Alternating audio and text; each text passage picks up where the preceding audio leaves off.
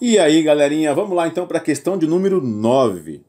Retículo cristalino é um arranjo simétrico de íons que formam substâncias sólidas cristalinas. A forma do retículo cristalino define a forma do cristal da substância.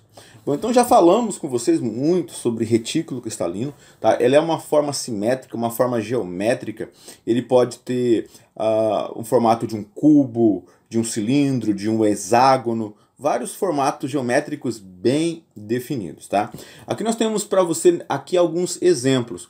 Nós temos aqui o sulfato de cobre, temos o dicromato de potássio, o sulfato de níquel, o cloreto de sódio e o cromato de potássio.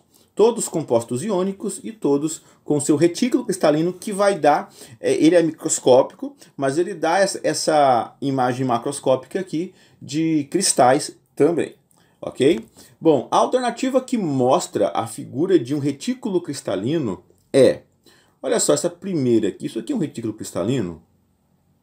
Ele não tem uma forma geométrica definida, né? parece alguma coisa assim meio desengonçado, meio assim sem uma definição geométrica, então não pode ser um retículo cristalino.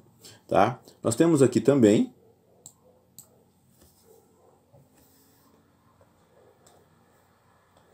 O de baixo, olha só esse desenho.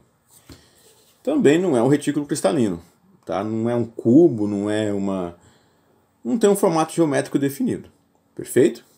Então, passando aqui para a próxima. E essa daqui? É um cubo, né? Bem organizadinho, retinho, bem definido geometricamente. Então, esse aqui é o retículo cristalino, é a letra C. Tá, vamos ver as outras aqui. Essa letra D aqui também não está bem definido, né? E a letra E também da mesma forma, ok? É, isso aqui é uma, uma, uma, uma rede, né? mas não é um retículo cristalino, não, não é um cubo, não é um hexágono, não é um, uh, um cilindro, não é uma pirâmide, tá? uma, uma rede, uma malha, parece de uma camada só. A gente observa uma outra é, importância, é que os retículos cristalinos eles têm uma aparência 3D, né, bem definida. Perfeito? Então na 9 aqui é a letra C. Valeu, um abraço, até a próxima.